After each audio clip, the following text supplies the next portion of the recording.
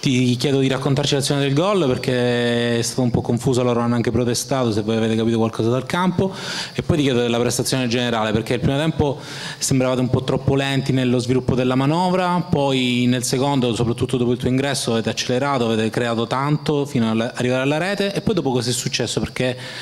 mh, la squadra è sembrata un po' abbassarsi, forse pensava che il più era stato fatto? Buonasera a tutti, allora per quanto riguarda il gol non lo so perché ero, sono, stato, sono rimasto sorpreso anch'io perché non ero girato, i ragazzi mi hanno detto che l'arbitro aveva fischiato un fuorigioco, non so di chi perché comunque la palla è stata deviata da un giocatore loro. E ecco, poi secondo me il guardialine gli ha detto che è stato uno di loro, quindi non, penso sia stato quello il loro dubbio, non credo la mia posizione perché comunque era regolare. E dopo sì, secondo me inconsciamente ci siamo abbassati perché magari si avvicinava la fine della partita, quindi eh, vuoi non vuoi un pochettino ti, ti abbassi, abbassi il baricentro e quindi eh, abbiamo fatto diciamo, l'errore di, di, abbassarci qualche metro e poi ancora pecchiamo un po' di inesperienza, un po' di furbizia, eh, perché magari una, una partita così in casa dopo che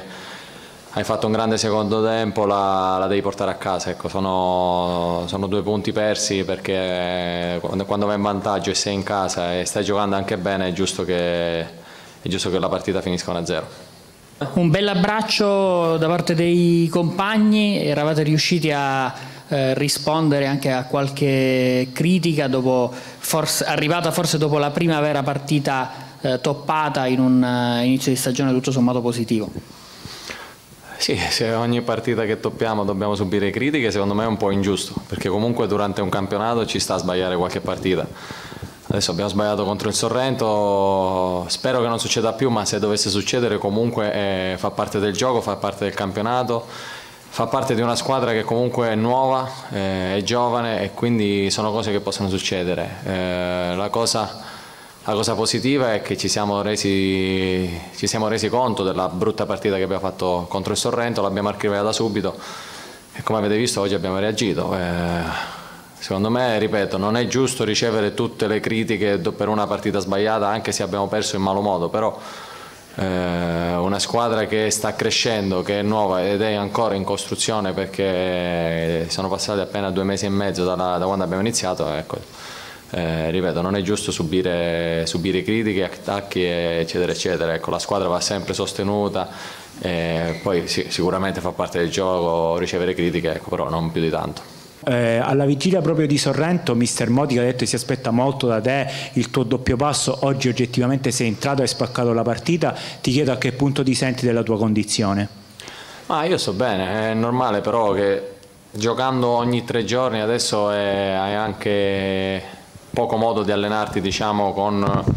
con, una settimana tipo dove hai giorni precisi per fare ogni tipo di lavoro diverso, quindi la condizione può arrivare solamente giocando in, in questo periodo qua che si gioca ogni tre giorni. Però ecco, io mi sento bene, sto bene, sono, sono, sono e sarò sempre a disposizione de, del mister, poi farà lui le sue valutazioni. Ecco. Ciao, mm, mi hai un po' anticipato perché parlavi proprio delle partite eh, ravvicinate, forse ancora la squadra non è in condizione di giocare tutte queste partite perché partiamo da, da Avellino, Catania, due partite eh, infrasettimanali forse sono troppe. No, secondo me non è questione di condizione perché a livello atletico stiamo bene, eh, abbiamo lavorato tanto quindi abbiamo una buona base per reggere le partite ogni tre giorni, quello no su quello non ci sono dubbi, anche perché non mi sembra ci sia stato un calo fisico. Al massimo ci siamo abbassati come baricentro, come squadra, ma non per un calo fisico, magari per eh, difendere un risultato che si avvicinava diciamo, alla conquista de, dei tre punti. Eh, la squadra secondo me è ancora giovane e pecchiamo, come ho detto prima, di inesperienza. Sicuramente dobbiamo essere più furbi, più svegli, è un girone, è una categoria dove eh, la, la, furbizia fa, fa, da padrona, quindi dobbiamo essere magari più maliziosi in mezzo al campo e sono magari quelle piccole cose che ti mancano adesso per, eh, per raggiungere il risultato prima. Vi faccio un esempio, contro il Sorrento il secondo tempo non si è più giocato perché il Sorrento era sempre a terra, avevano i crampi o pseudo crampi, quindi diciamo, sono quelle piccole cose, quella malizia che ancora ci manca che ci può può far sì che magari sia oggi che la partita con la Turris potevi concludere con tre punti e tre punti.